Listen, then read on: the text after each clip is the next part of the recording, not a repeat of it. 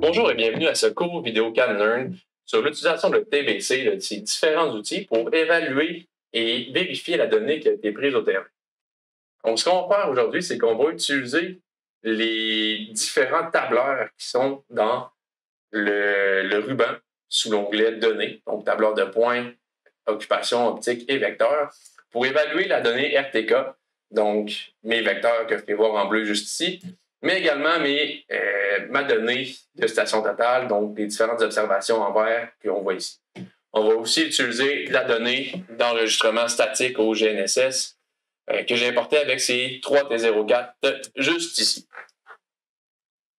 Donc, ce qu'on va venir faire ici, on va commencer avec le tableur de points en cliquant dessus.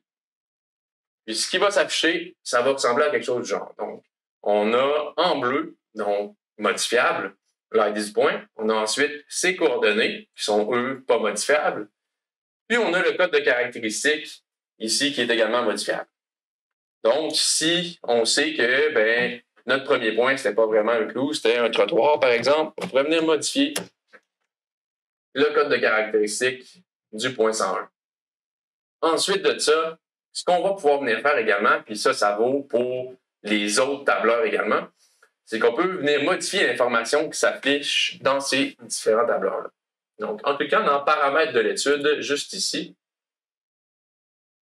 on va pouvoir aller dans les vues, puis on va aller dans tableur de points dans ce cas-ci.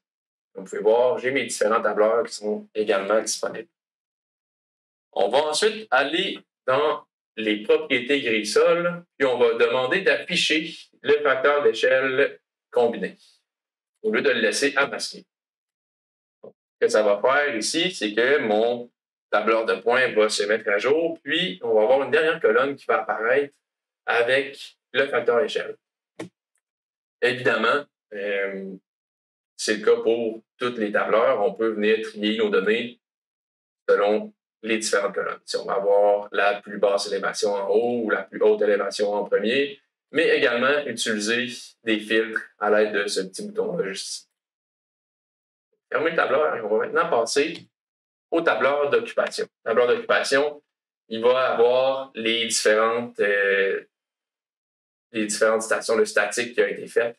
Donc, dans ce cas-ci, on en a seulement trois sections de statique. Donc, les points 101, 106 et 200.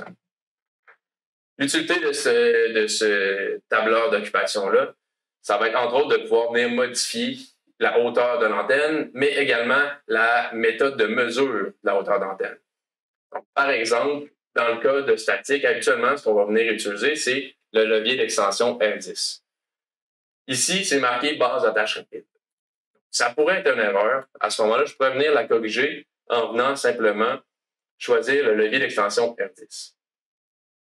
Dans notre cas, c'était pas une erreur, c'était bien la base d'attache rapide qui a été utilisée, puisque c'était un bipod qui a été utilisé pour faire du statique pendant une quinzaine de minutes.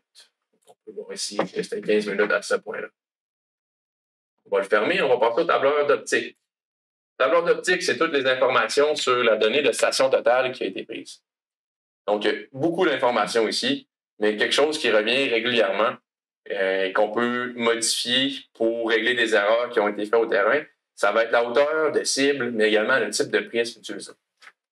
Par exemple, si on sait que à partir du point 609 jusqu'au point 627, ce n'est pas le prisme personnalisé qui a été utilisé, mais c'est du direct réflexe qui a été utilisé au terrain. on pourrait venir sélectionner tous ces points-là en cliquant sur 609 en premier, en maintenant en ces chiffres et en cliquant sur le point T627. Donc, de cette façon-là, si on regarde ici dans mes propriétés, j'ai 19 points qui ont été sélectionnés et d'un seul coup, je pourrais venir modifier le type de prisme à direct réflexe, juste comme ça. Dans mon cas, ça va me donner des petites erreurs parce que c'est pas réellement ce qui a été fait au terrain. Mais bon, on peut le modifier quand même. On va également venir modifier la hauteur de cible brute pour 0, juste ici. Donc, si on regarde dans mon tableur ici, c'est j'ai maintenant des hauteurs de 0 et du direct réflexe pour mes points 609 à 627. Si je clique ici, normalement, je devrais recalculer l'étude partir de ces nouvelles données. Finalement, on va finir cette, vidéo-là avec le tableur de vecteurs qui est disponible ici.